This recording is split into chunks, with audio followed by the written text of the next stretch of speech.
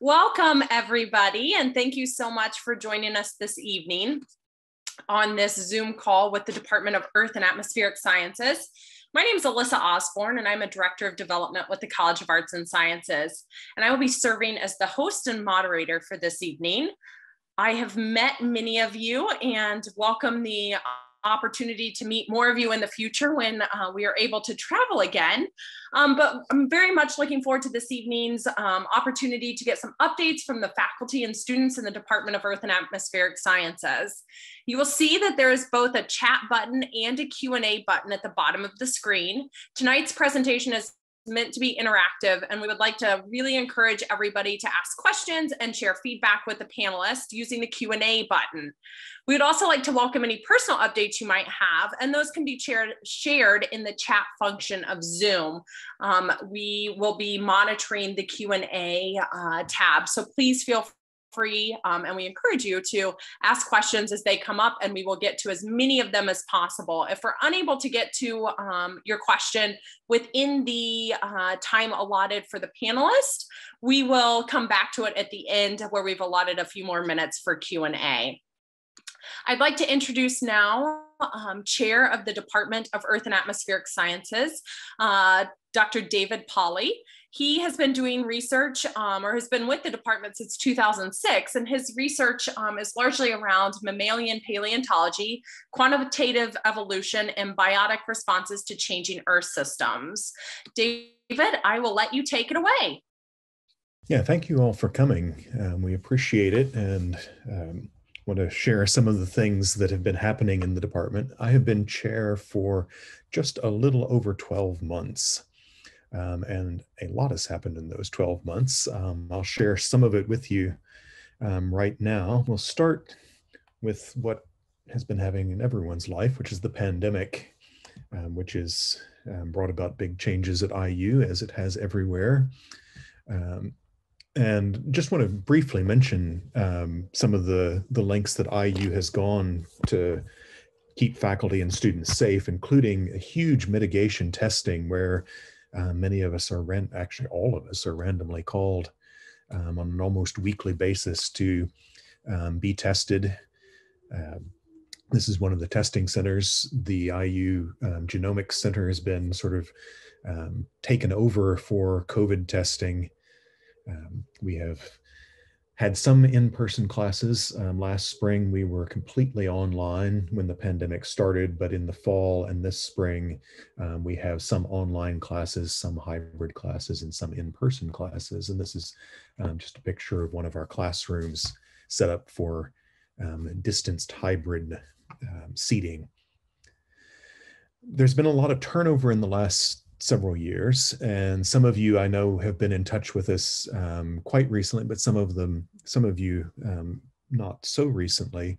Um, but it's been a huge period of turnover in our faculty. Um, we've had a lot of faculty who have retired in the last um, four years, um, even. Gary Pavlis from geophysics retired.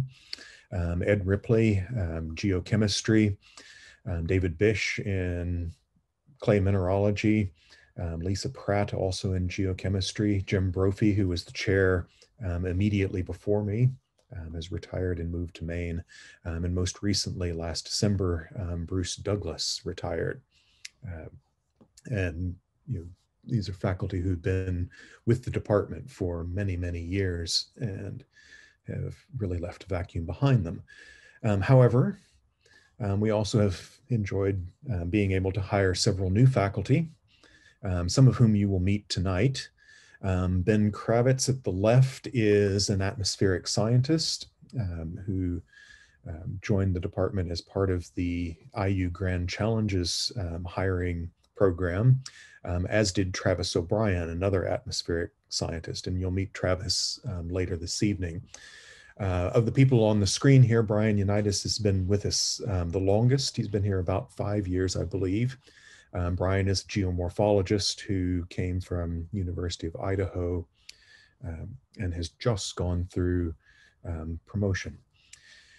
Um, at the top, Jess Miller Camp is a research scientist who is working as our new paleontology collection manager. Um, at the bottom right, Shelby Rader, who is a research scientist and does metal isotope geochemistry. Um, you'll also meet Shelby later tonight, um, and Andrea Stevens Goddard, um, who does basin analysis and thermochronology, and um, who you'll meet tonight, and who is um, our inaugural Lee J. Suttner chair. Um, we've also had several deaths in the last few years of professors emeritus, um, some of whom um, were still very active in the department. Um, Don Hattin passed away in 2016, as did Erle Kauffman. John Hayes, who had not been in the department for a while, but um, some of you may have known, depending on when you were at IU, passed away in 2017, um, as did John Droste. Um, Larry Onesti passed away in 2018, um, and Bob Dodd um, passed away just in 2019, having um, been been very active as an emeritus professor until he moved to New Mexico to be closer to his children not long before he passed away. Um, another major thing that has happened um, this past year is that our building has been renovated. And one thing I can say, if you are going to have a pandemic and you're going to have a building renovation, you might as well do them at the same time um, because they are both disruptive. Um, and in some ways, um, the fact that they were going on together made each one of them um, slightly um, more convenient than it might have been otherwise. And probably most of you have visited the Geological Sciences building, um, which has many quirks. Um, and I want to show you a few pictures of what it looked like during the renovation. Um, it really was renovated top to bottom, inside out. This is the second floor hallway, um, which you may barely recognize because on the left, um, all of that open space were chases that ran the top to the bottom of the building, um, which were, among other things, filled with asbestos, uh, which has now been cleaned out. Um, but many of the ducts and pipes and everything else have been um, rechanneled. Um, anyone who has been in the geological sciences building and spent much time there will remember the mystery elevator. Um, there being two elevator doors, only one of which opened. Um, that one elevator um, was never an elevator. Um, it was an empty shaft, and that has been now now been closed off nicely, refinished, and used as a another major chaseway through the building. Um, and there's been a lot of reorganization of rooms um, and reconfiguration of offices and et cetera. This being formerly room 209, a graduate student office in its last days, um, which has now been reconfigured. And a few of you may actually recognize this, an area that's been opened up. Um, and what makes it recognizable are the pink walls, um, which were the walls of the office of Robert Wintsch, um, who allegedly um, was on sabbatical or in the field when the building was painted at some point. And um, as I remember the story, um, Basu called him and asked Bob, what color would you like your office? And Bob said, I don't care, it could be pink. Um, and it was pink for many, many years, um, but no longer. I um, want to show you what it looks like. It's a complete transformation. Um, this is a picture of the lobby as of just a couple of days ago. Um, we're just moving in. In technical sense, the renovation is not quite finished. There are still some things going on, but most of, actually all of us are now moved in and um, you can kind of get a sense of what it looks like. The lobby just looks absolutely beautiful. Um, they made the um, whole building ADA accessible, which meant we needed to have a ramp. Um, and they built this ramp around the margins of the lobby, which will um, really highlight our display cases there and, and make it much more visually interesting. Here's um, another view of the lobby. A lot of the ground floor has been opened up into commons areas, which makes it brighter because you have um, light coming in from the, the north side, or sorry, the south side, um, yes, the south side, um, and several areas have been opened up into to student commons areas, and you see a couple of shots of them here. Um, there are break areas on each floor. This is the, the restroom area on the fourth floor. And again, those of you who have um, spent any time in the building will know that the building didn't really have women's restrooms when it was built, um, only a couple of them, but now it does.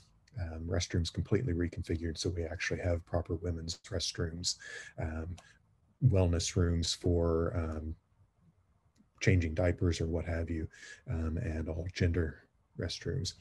And this picture, um, even though it is not terribly exciting, is one of the most exciting things that happened, in my opinion. This is the northwest stairwell that, again, if you spent time in the building, you will recognize, have known as a complete, still concrete, unpainted cinder block um, stairwell, which has now been painted. And I'm going to turn it over to the panelists, but before I go, I want to thank all of you. Um, our alumni have been really important in supporting our department and developing the funds that we use. Um, and the pandemic has made it all the more obvious how much these funds um, mean to the department. We've been able to keep going um, more or less as normal despite um, temporary budget cuts um, and I especially want to highlight the Lee J. Suttner Professorship in Earth and Atmospheric Sciences, which is our newest endowed chair. And you'll meet Andrea Stevens Goddard in just a moment, who's the, the first faculty member to hold that. The Robert Sanger Scholarship established this year, and also the Mary Iverson Graduate um, Fellowship, which has been especially important this year um, in the pandemic in providing extra support to students, um, and for which we are still um, welcoming donations. So I'm going to turn it back over uh, to Alyssa, who will introduce our first panel. Hello again, and thank you so much, David. Um, that was a wonderful synopsis of everything that has been happening, and it has certainly been a lot. I'd like to introduce Andrea Stevens Goddard, Michael Hamburger, and Dylan Seal.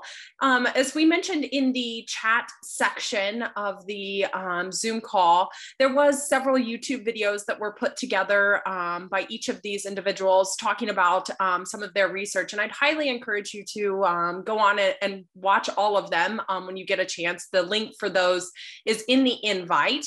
but if you weren't able to do that, we wanted to make sure that you would um, still be able to sort of understand what was going on and be able to ask some questions. So I'm going to ask each of them to give just a brief, brief synopsis on their videos um, and then invite anybody to ask questions um, and we'll go from there. Thank you so much. Andrea, can you start us off? Sure. Thanks so much, Alyssa. So um, I am, as David has mentioned, the brand new addition to the department, and I'm thrilled to be here um, my expertise is in basin analysis. And on top of that, I have a, a, specialization in low temperature thermochronology. So this is great because, um, you know, as we study basins, we're, we're still kind of rooted in those fundamental things that probably you learned in your SEDSTRAT class or in your, you know, graduate level basin analysis class. We go out and we make these observations and understand how the basins formed and where the material was coming from um, but thermochronology is a tool that allows us to understand the timing and rates of processes. That includes the timing and rates of, of erosional processes that are contributing to the basin and the timing and rates of basin formation, how you're creating that space to hold all of the sediment. And so it's really exciting that I'm able to bring this lab here to IU. And what I'm actually going to be setting up is called a, a fission track lab. And so fission track is a, is a tool is a, uh, for low temperature thermochronology um, where we uh, measure the last time that a mineral was at a, a, relatively low temperature for, you know, fission track for the mineral apatite, it's about 120 degrees C. So you can think about that as three to four kilometers in the earth. And as those rocks that have those minerals in them pass through the closure temperature, um, we're locking in the time of, of cooling. So you can think about all of the geologic processes that that time, that date is actually giving us. And I'm setting up that lab now in the brand new renovated space, which is really exciting. And um, as Lee or as uh, David mentioned, I'm also the first Lee J. Suttner Chair, and that is a huge honor for me. Um, I actually am of the Lee lineage, several generations removed, but was always someone that I um, respected and looked up to and read the papers. So I've worked with, you know, IU alumni throughout my career. Um, uh, Ken Ridgway at Purdue, uh, Pete DeCelles at IU. I worked with Julie Fosdick, who's a Steve Graham alum uh, in my postdoc. So basically, every step of the way, I was getting a little bit of that input, and I'm delighted to return. So I'll turn it over. I guess maybe Michael is next. I'm happy to take the baton from here, and I'm so pleased to see so many friends and uh, familiar names on the on the uh, alumni list. Uh, Andrea, we're so glad to have you as part of our department. She is the bright, fresh face in the department, and I'm the grizzled old guy now. Um, but uh, the, the video that we put together is kind of a tag team, uh, in a way, kind of three generations in the geophysics world. Um, it's a project that involved myself and a former graduate student, Anna Nowicki Jessee, who's now on the faculty at IUPUI, and Dylan Seal, who you'll hear from in a moment. Um, for me, a lifelong seismologist, it was kind of a, a foray into uh, a little bit out of my comfort zone into the intersection of seismology and geomorphology, understanding a peculiar and really dangerous secondary effect of earthquakes, and that's earthquake triggered landslides.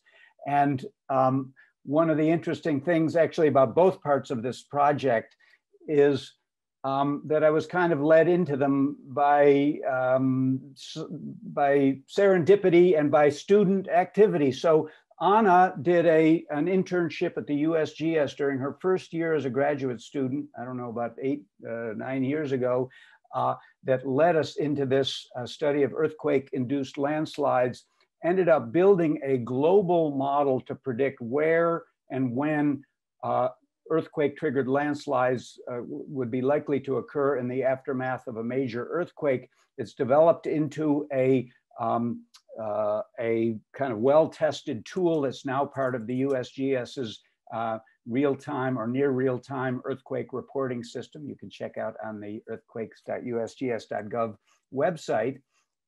And then uh, Dylan has jumped into a new element. Uh, I'll let Dylan tell a little bit the story about how he got involved, but we've taken this kind of global model and applied it to a really interesting place in uh, Costa Rica, which has a, uh, a very rich history of landslides and earthquakes and all of the uh, interconnections between those phenomena. Um, and just a kind of personal note, one of my great pleasures about being a faculty member at Indiana University is the amazing group of students who I've had the chance to work with over the years. And um, Dylan is our first inaugural Rudman Pavlis undergraduate fellow in uh, geophysics, and he's doing his uh, undergraduate thesis on this um, earthquake-induced landslide project. So Dylan, take it away. Hey everybody, I'm Dylan. I'm a fourth year undergrad, um, majoring in earth science. Um, and so, yeah, as Michael said, about 12 months ago, I was awarded the Rudman Pavlis Fellowship in Geophysics Research, which has been a great, great opportunity. Um, and as you may have saw in the video, most recently, we've been uh, able to study earthquake-induced landslides in Costa Rica through a really great collaboration that uh, kind of emerged out of nowhere from an email correspondence. Um, and so using that, we've been able to look at um, kind of the seismic and earthquake-induced landslide hazard throughout Costa Rica, which is really a interesting place to look at uh, hazard because Costa Rica has an active subduction zone, a series of um, active volcanoes, back arc thrusting. So it's really a, a valuable place to apply our tools. And so my work has been using hypothetical scenario earthquakes. Um, so, uh, kind of trying to predict where future earthquakes might happen based on historical seismicity. And so, using that along with Anna's global earthquake induced landslide model allows us to kind of look at the different controls on earthquake induced landsliding, whether that be slope, ground wetness, um, et cetera. And then also we get a flavor of the impact um, from these events. So really a valuable tool and Costa Rica is probably the best place to look at it. So yeah, it's been a really great opportunity and that's been thanks to the Rudman Pavlis Fellowship. So yeah. All right. So I will kick things off with a couple of questions, um, but I would encourage all of our attendees to ask questions. I am not a geologist or a scientist in any way, so my questions will be very basic compared to anybody else's that is asked. I was just going to start off um, with Dylan and ask him to just share a little bit more about um, your undergraduate experience at IU and maybe how the pandemic has affected um, your research, or hopefully it hasn't, um, but just kind of share a little bit more about your time at IU. Yeah, definitely. Um, so I actually came into IU as a pre-med, surprisingly, but I took a physical geology course in the department my first semester here, which I was hooked instantly and haven't really looked back since. Who taught that um, course, Dylan? Uh, Laura Wasylenki. Oh, great. Uh-huh. She's uh, not here anymore, but great professor. And so, yeah, over the past four years, I've taken many, many courses in the department. Um, and I've always found the faculty to be really supportive. I haven't found any faculty that I don't get along with, which is great. And is kind of a testament to the department as a whole. Um, so then fast forwarding to my junior year, I uh, was awarded the Fe- Rudman Pavlis Fellowship, which allowed me to work with Michael, which um, the work's really computational, so it hasn't really been affected too much by the pandemic. Um, but it is kind of interesting. I've only met with Michael in person once, I think, and we've been meeting weekly for the past year. Um, and I guess the pandemic also makes uh, coursework a bit harder because of Zoom. But overall, I think our research has really been unhindered by it. And I've had nothing but good experiences within the department. And uh, there's no better place to do your undergrad than IU. Dylan, maybe it is worth mentioning. Uh, he is a bit modest about it, but he was awarded a super competitive uh, REU fellowship to work in Hawaii last summer.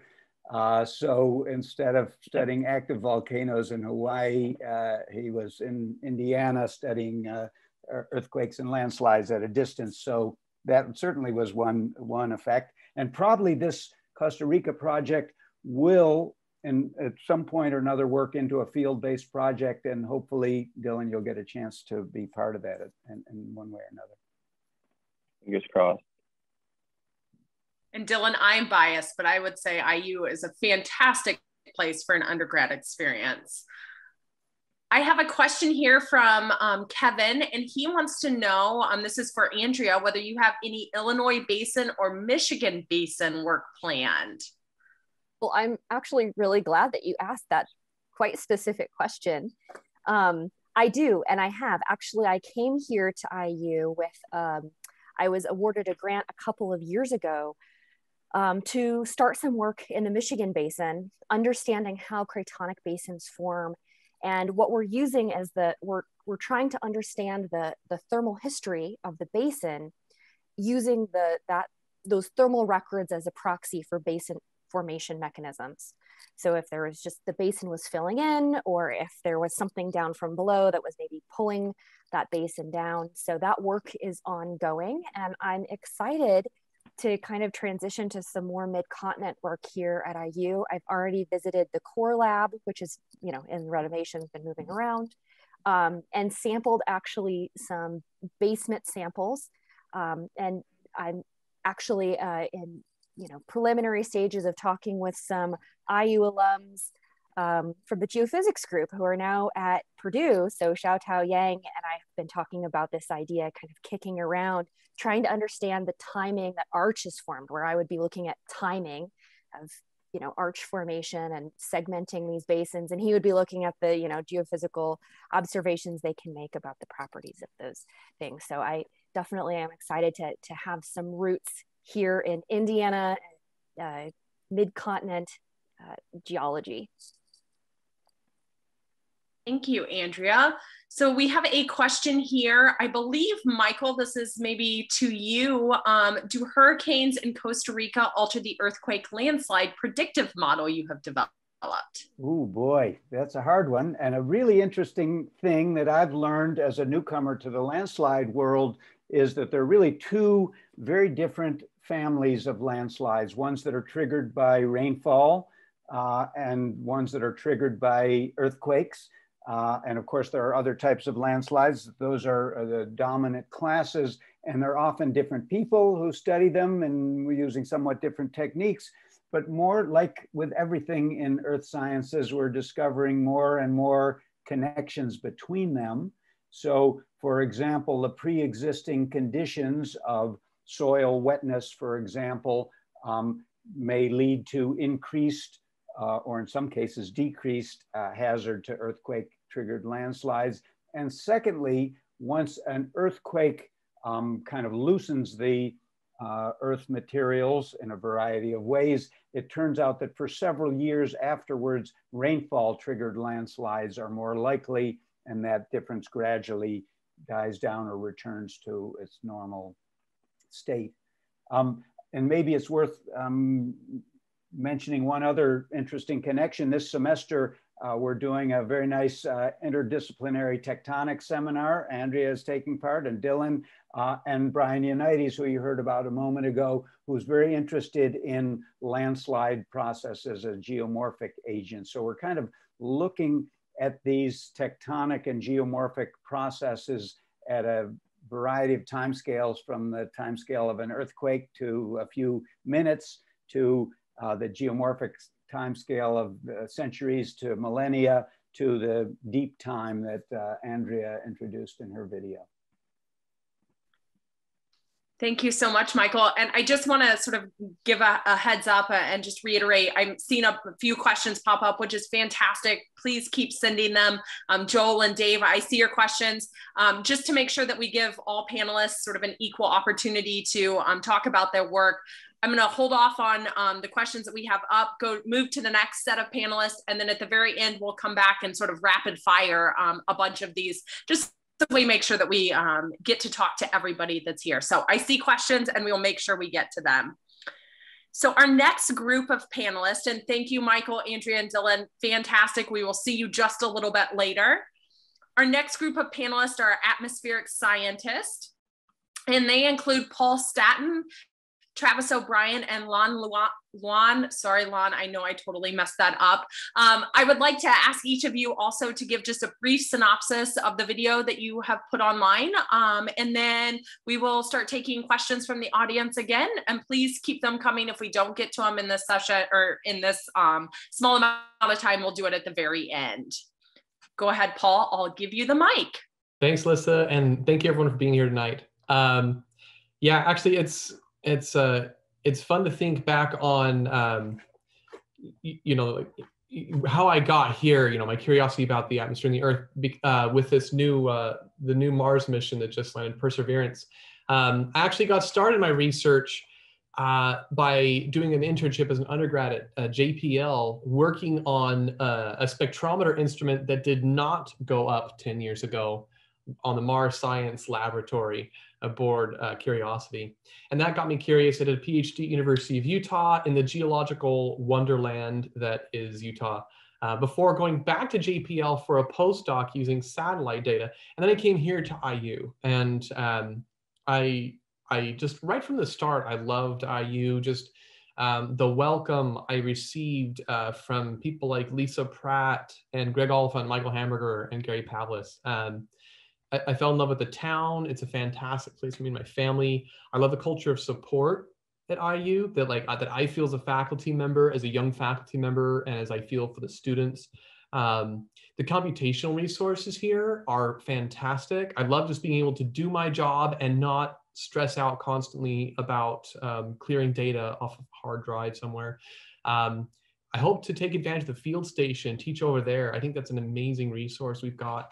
And uh, you know, we've got pretty great geology here. I, I thought Utah was fantastic, but you actually have to go way down in in the Grand Canyon before you get to anything as old as you have out here in Indiana. And I am not a geologist, so um, you could probably tell me just how far you have to go down. Um, and then great weather here too. You have really beautiful frontal systems here um, that don't really uh, don't most of them form on the east side of the Rockies, so we didn't get that out west so much.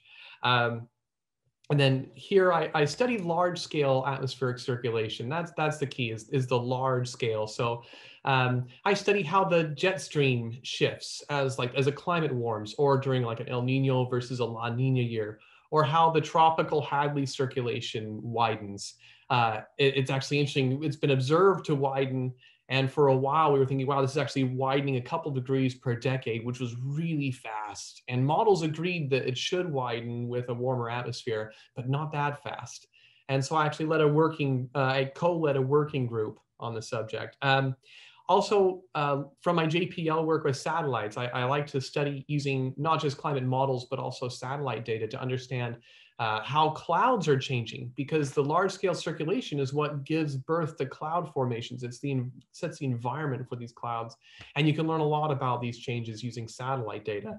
And uh, recently I've started uh, using this satellite data um, to look above the troposphere, the bottom layer of the atmosphere, up into the stratosphere, because uh, changes in the circulation in the stratosphere determine how much water vapor is up in the stratosphere and how uh, radiation, uh, how much radiation, you know, makes it down through the stratosphere or makes it up to the stratosphere from the surface. So it's it's actually pretty important for climate down here. So that's what I do. I, I, I, study the large scale circulation. So if you saw Ben Kravitz's video, Ben is an expert modeler. And I love working with people like Ben because they make great data for me to play with and try to understand.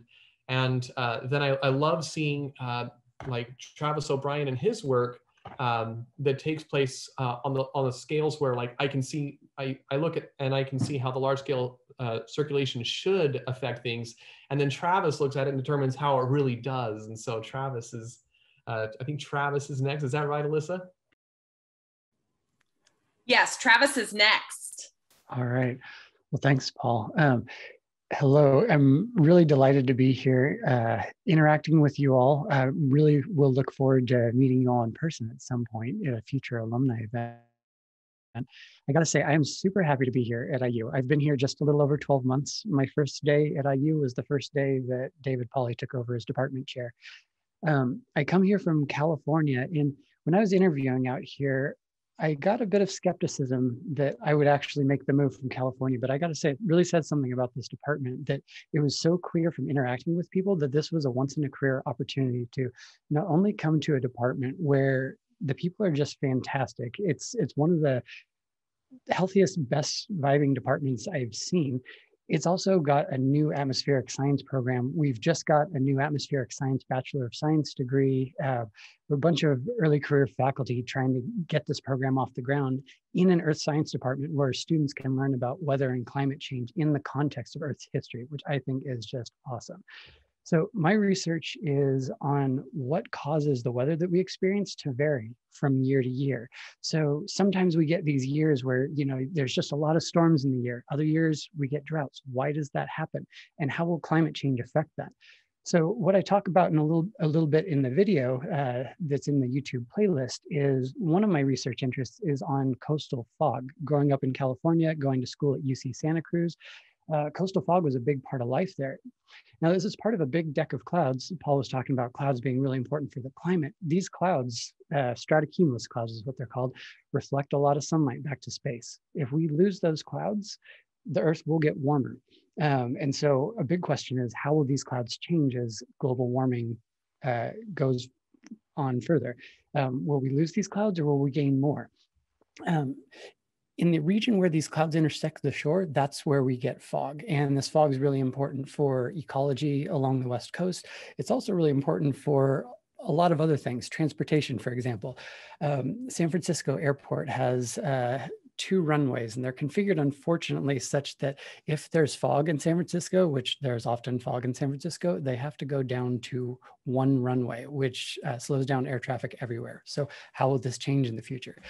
I use climate models and observational data to uh, try and under, to test hypotheses about how fog and clouds and other uh, types of weather will change and what drives their changes from year to year. So that's all I got to say. And I think, uh, Lan, you're next. All right, thank you, um, Travis. And hello, everyone. I'm Lan, and I'm a fourth year PhD, PhD student studying in IU, and I come from northeast part of China.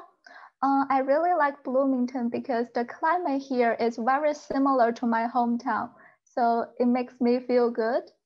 And um, um, and I'm working with Dr. Paul Staten, and recently we are working with two scientists from Boulder. Although I didn't get a chance to visit them last summer, but we um, have a chance to chat online and discuss about research. And recently we are working on the tropical tropopause layer structure and how water vapor change in that region. Like Paul mentioned, um, in the stratosphere, the um, water vapor is pretty important because it can influence the uh, radiation budget around the whole globe. And in the tropical region, it is where the water vapor um, mainly comes from for the stratosphere. And the water vapor there can only uh, can not only influence the uh, radiation budget, it can also influence the climate around the whole globe. So that's why we are interested in, interested in looking at that. And um, there are many factors can influence the uh, tropical tropopause uh, structure and the water vapor. And mine, uh, one main feature is the quasi-biennial oscillation.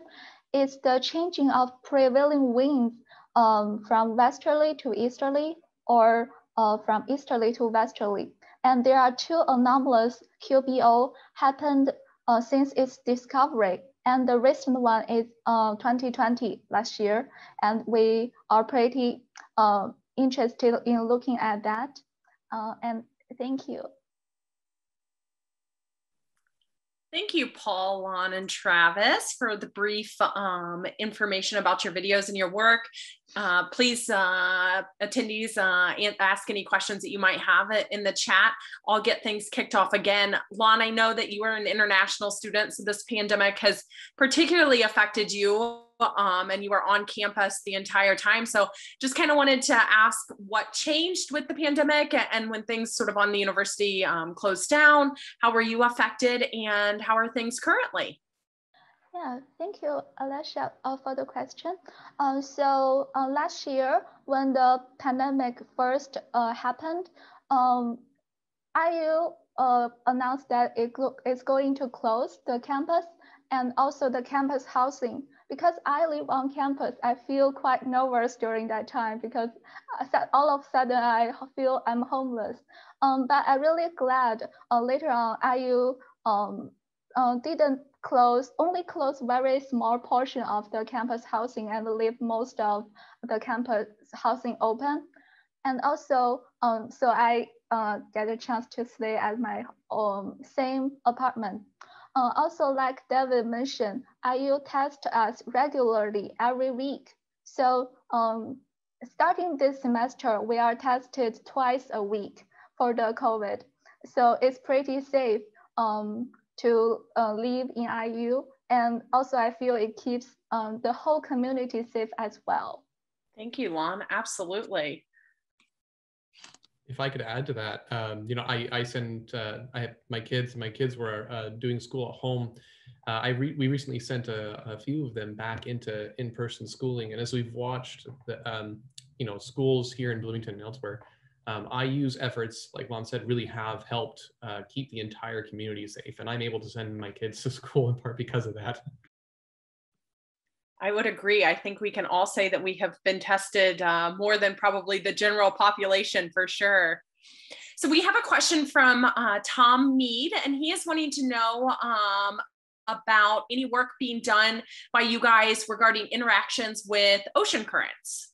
I can I can jump right in on that. Yeah, I'm really glad you asked about that. Um, actually, fog is uh, an area of research where the oceans make a really big difference. Um, one of the, the first hypotheses for how climate change might affect fog is that with a warming climate, you'll get uh, warmer land. Uh, the ocean won't warm quite as much. That'll drive stronger winds along the shore, and those stronger winds will drive stronger currents. So more colder wa water from the north, more uh, cold water from the deep we're, we still don't actually know whether that hypothesis will pan out. Um, observationally, we're seeing some evidence that uh, ocean currents are cooling, um, but it turns out that uh, it may be more complicated than just ocean, uh, the winds driving uh, more upwelling. So it's it's not clear from an ocean uh, current point of view whether that's the case.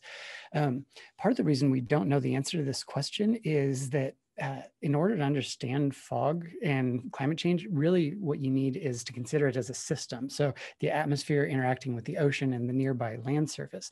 And up until just like the last year or two, there haven't really been models in place that can simulate all of the uh, phenomena that you would need to simulate in order to get these interactions. So you need uh, global, you need an ocean model with resolutions of like a couple kilometers. So dividing the ocean up into boxes or that are about a kilometer or so on the side.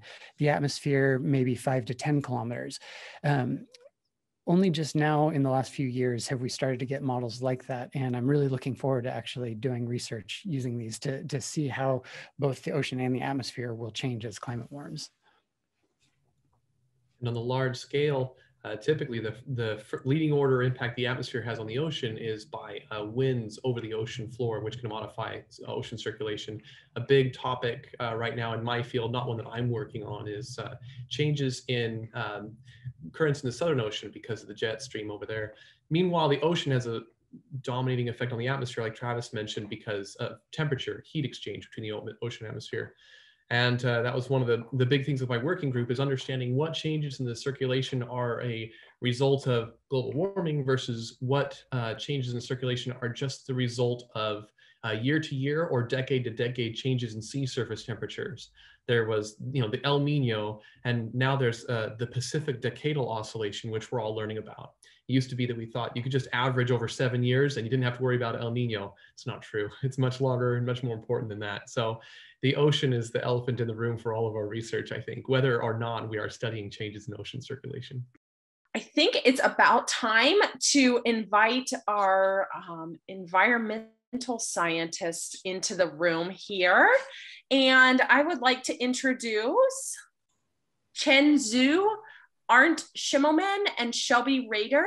Um, I will start with Chen. Please uh, feel free to give us a, a few minutes of uh, information about your research and the video that you uh, posted to YouTube. Yeah, thank you. Um, my name is uh, Chen Zhu. I study water and water's reactions with minerals.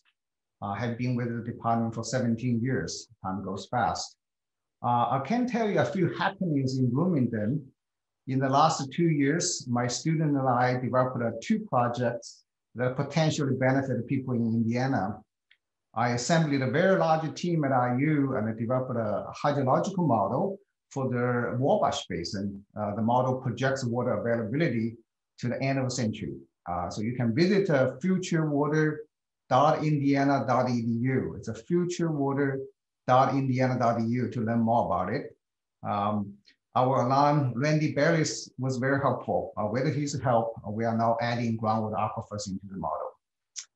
I have also worked with the IU Center for Rural Engagement uh, to develop a program for arsenic contamination in groundwater. It's probably very hard to believe that we are the world's only superpower and one of the wealthiest nation, but our citizens are still drinking water that exceeding arsenic standard. And this is happening right now as we speak.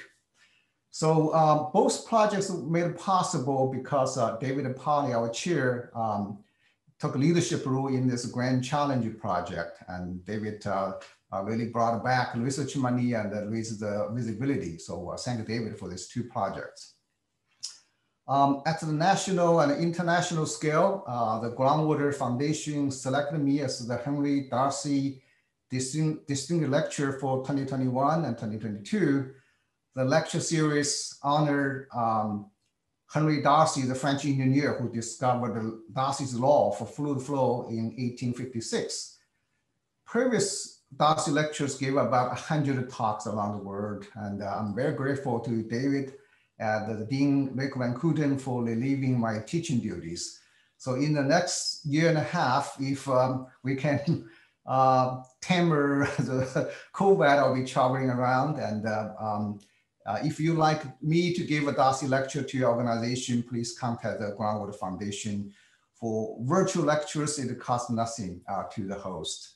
So thank you very much for your support and for participating today. I'm Arndt Schimmelmann. I'm a geochemist And before I ex explain my research, I want to thank Ruth Droppo for providing this wonderful uh, video of my work in Vietnam. Why, why do I work in Vietnam? My, wife is Vietnamese and she showed me her country about six years ago and we traveled there. And I realized that the landscape was fantastic for uh, assessing the, the sink of methane uh, when microbes uh, near the surface of the earth can uh, take it up and use it as for, for energy. So in the moist and warm climate in Vietnam, you have lots of caves. And in fact, we could uh, document that methanotrophs, um, bacteria that use up methane, can take up much of this um, greenhouse gas. And it helps a great deal uh, to limit global warming if you can mitigate some of this uh, impact. So why Vietnam? Okay, uh, I didn't have any plan to work there really. Uh, but when we came back to Hanoi, my wife just called the university and asked for some geochemist who worked there and we got a connection. And he managed to get, get us into contact with, with some young faculty, very young faculty. And with those, we really hit it off. So we went there every year and uh, it's a fantastic experience. And I want to encourage all of you, not only those who work in academia, if you have a chance to work with young faculty in developing nations, it is extremely rewarding. It doesn't take much of your time, doesn't take much money, but they are so eager to learn. They are just like sponges. They, they take what you tell them and then they run with it. So one of our colleagues over there, he got a Fulbright now and he's coming to my lab in a couple of months to work here for five months. We have publications out. It is so much fun. In my 28 years at IU, I never had uh, colleagues and projects that are so rewarding and so much fun. So all of you, please, if you have a chance to meet young people abroad with scientific interests that somehow match you, try to pass on your knowledge and encourage them to be productive. What a wonderful uh, happenstance, Arndt. I appreciate you sharing that. Uh, Shelby, I think we will give you a couple minutes to uh, tell us about your video, please. Sure. Thanks, Alyssa. Um, and thanks to all of you all. Um, I am relatively new to the department. I started in fall of 2019. And just like everyone else has mentioned, the reception from the department and from Bloomington has just been fantastic. It's such a nice program and such a nice place to be. Um, so I'm a trace metal geochemist, and part of my responsibilities here to help with the uh, trace metal isotopes lab that's part of the department, which is an incredible facility. And, and post COVID, if any of you all are ever in Bloomington, you're always welcome to come by and, and see it and see, see it in action. Um, and so as a trace metal geochemist, I look at trace metals. So these are going to be elements that are in very low concentrations in geologic and biologic material. And so through that process, my goal is to try to understand how metals are redistributed in our environment um, to try to better inform geologic processes, environmental remediation processes, um, and some biologic processes. And so when I say trace metals, these are typically things that are um, at the concentration level of parts per million. Um, and so that's kind of abstract. And so essentially, if we were to put that in, in more relatable terms, um, it would be like taking the entire population of Indiana and being tasked with identifying six or seven individual people. Um, so it's actually very, very challenging, but the fact that we're able to accomplish that, to measure things in such small concentrations, is really incredible to me. And so we can do it with um, rock materials, with plant materials, with human materials like blood and urine. Um, and so it's, it's very versatile and has lots of applications. Um, so I look at those changing concentrations as well as isotopic ratios um, to try to understand how metals are moving um, through subduction zone environments. So whether things are getting recirculated back to our crust or whether they're contaminating the deeper mantle. Um, also look at them in relation to ore deposits, to economic ore deposits, um, to try to better understand how they form and how we can better explore for them, um, but also how we can better plan for remediation techniques um, after the life of the mine is complete. And so there are a lot of applications for that. Um, and so we, we really try to focus on those across the geologic and biologic realms. Shelby, while you're on here, we actually have a question um, for you from Philip wanting to know whether, um, when you're working in the clean room, whether you have to be concerned with or avoid uh, cosmetics and hair products. Yes, that's a great question. So we do have to be incredibly careful. Um, so we look at a variety of different elements in there, um, some of which are fairly common naturally. So lead is one of those. Um, so even having dust or soil material on the bottom of your shoes can affect your, your measurements and your samples. Um, so uh, in the video that's on YouTube, if you haven't watched it, it gives a, a great view into the nice getup that we get to wear. Um, so we wear clean suits. We cover our entire outfit with a clean suit that's only ever been in that room. Um, we do not wear outside shoes inside the room. We wear um, shoes again that have only ever been inside of that room and stay clean. And we also get to don hair nets. And so I tell people, um, you don't often think that that lunch ladies and geologists have a lot in common, but in some cases we do. So yeah, we do take things like that into account and try to prevent that um, as much as possible. So great question. Thank you. Arndt, do you want to share with us some more about your time in Vietnam and uh, what all you ended up doing over there? Um, yeah, there are lots of consequences for me being there. So one of our field trips, uh, one of the students in our Vietnamese group, she's from Hanoi, she met our young tour guide who was assigned to us, and now they're married and have two babies. so because of our field work, now we even have a family there. And um, so one of our colleagues got uh, tenure and she's very successful and the other one has a Fulbright. There are several Vietnamese students who um, have uh, written their thesis about all this work that we've, we're doing. One of them is now going to Germany for a doctor, doctorate. Uh, we have collaborators also in Germany um, and in Mexico. So the whole group has grown layer by layer. And now we are like uh, probably 10 scientists and uh, 10 students and it just became from this one nucleus. And it's, it's very rewarding. Fantastic. Thank you, Arndt. Shelby, I know um, that you started out um, before the pandemic with no teaching responsibilities. And then during the pandemic, um, you kind of caught a baton and were asked to help out. I was just uh, going to ask how you enjoyed that and um, whether you see this as something that you'll be doing for a long time to come. Yeah, so so teaching mid pandemic was definitely a learning experience. I think for me and also the students as well. Um, and so, you know, in in one sense, I felt fortunate that the first time I was teaching these courses was um, during this pandemic because I didn't have to go through the hassle of trying to retrofit, you know, years worth of in person teaching to a virtual experience. Um, uh, so I just got to do it virtual from the get go.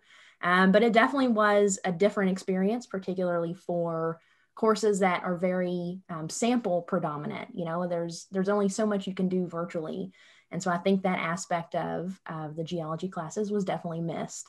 Um, but we definitely definitely made the best of it. Um, and I, I, think we all have have gotten through it, and uh, I personally have really enjoyed it. And so I would love to love to continue this um, into the future and in any way that I can. Fantastic. Thank you so much. Thank you, Shelby, Arndt, and, and Chen. I think we are going to bring everybody back now, including David Polly. Um, and David will be available to answer questions too. He kind of snuck out on the panelist list, but if you have any questions for him, now is the time to rapid fire them at him.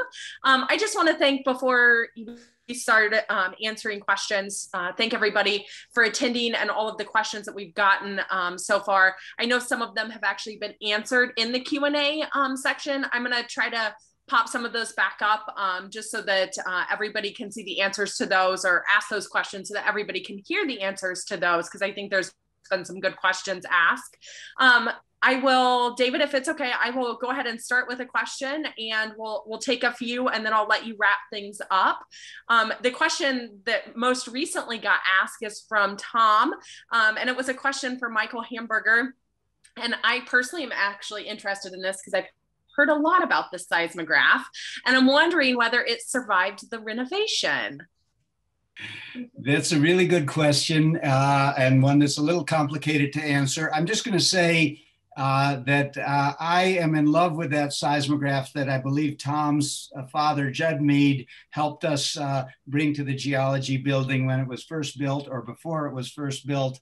Uh, and I, I, hope to be buried with it someday. we have kept it alive, but we decided under duress that it was probably best not to keep the mechanical seismograph running during the renovation when the building would be filled with dust and debris. Um, we did keep the digital seismograph running. That's part of the um, mid continent seismic network. So that data is still around and available. Uh, and we are preparing to bring the seismograph back to life when the building comes fully back to life and when I get my second vaccination shot. Um, and one exciting thing that has happened as a result of the renovation is that there's actually going to be a, uh, a, a, uh, kind of viewing window. It's going to be replaced across the hall from uh, where the instruments are in the old vault. Uh, and so we will have a, uh, a first class seismograph display. Um, and in addition, the Geological Survey and Water Survey is building a kind of museum display. And so there will probably be an additional digital display. So the seismograph is spawning. It's going to be everywhere in the building. Actually, I'd like to add to that a little bit. Um, as I said, I became chair last January, and we were literally moving out of the old building um, into our temporary quarters in the survey side, and now we've just just moved back. And then the pandemic hit, um, and I'm assuming that when the renovation is over and the pandemic is finished, that all a chair has to do is sit up and watch television with your feet up because um, all of my time has been spent on that. And there have been some areas of the building that have been um, particularly, um, I guess I'll, I'll say problematic because um, sometimes it is kind of like playing whack-a-mole. You, you have to know what's going to go wrong, wait for it to almost go wrong, and then ping the right people to say, whatever you do, do not do what you're about to think that you're doing. Um, and one of those areas had been the seismograph area. And we sort of had to watch that really carefully during the renovation to make sure they didn't just go in and um, put in new lighting and take out all the electricity and what have you. But um, but yes, we're we're looking forward to having it fully active again. And as Michael said, in a in actually much more prominent place, um, thanks to um, actually, thanks to them not doing what we said, um, they ended up building a hallway and making the seismograph almost invisible. And so we used that to leverage permission to, to actually put it out in the hall properly and build a big picture window so that you can see it uh, very easily from the hall. Fantastic. The other sort of questions that have come up, um, there's been a few questions about work out in Montana at the uh, field station. And I was just going to kind of open this to the group. I know we have some people here with some field station connections um, in the attendee group um, to see whether anybody's planning to do some work out there or have done work out there um, currently. Well, I know that question was uh, directed to me and, and I'll, I'll answer it a little bit, uh, a little bit more verbally um, i'm really excited It was one of the the most exciting things to be able to come to iu with such a strong field station and access to that both as a teaching and a re research resource. Um, as i've just arrived i haven't figured it i haven't i haven't gotten out there yet. Um, but i'm really excited to and i think it's going to be a great place to get some projects going with students. And i've you know done some work in the western us before and i think that there are some lots of research directions that would be just really well suited. There's you know such a great geologically interesting place that there's you know all sorts of uh, questions that we can do out there. So I'm I'm excited to get some samples and, bring them back and get some projects started. I have an, an, instrumentation or remote sensing course that I currently teach on campus, but connected with the watershed out there by the uh, field station. Uh, we have several MET stations, and uh, I've been uh, talking and in the early stages of planning a course, uh, um, the aspirational date is summer 2022, in which I would go out there and uh, teach a hands-on instrumentation course in that uh, incredible field environment that is a field station. Um, David, do you uh, want to send things off? Yeah, I'd like to thank everybody again for coming. Um, I know quite a few of you too. Um, some of you I have not met. And hopefully, when the pandemic um, eases, um, either you have a chance to come visit us or um, we'll be back in Houston again, I hope next year, um, and get to see some of you in person. Um, before we go, I'd like to invite you, if you didn't already, to, to have a look at the videos. They're really great. Um, and not only not only the people you've met here um, done an excellent job in producing them, but Ruth Droppo, who is our um, staff artist, um, produced all of those and just does an amazing job with all of her graphic work and including these. Um, so thanks again. And if you want to get in touch in a in a more one-to-one way, just um, shoot me an email or give me a call and we can set up a meeting. So thanks.